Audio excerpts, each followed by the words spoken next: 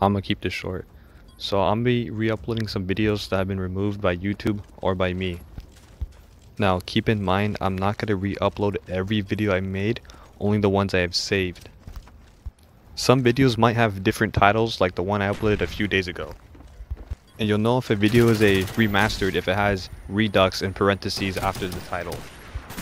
Now I may have changed or taken out some parts of the video, but that's so YouTube doesn't delete it.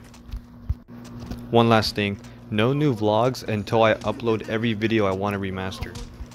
But that shouldn't take so long, so don't worry.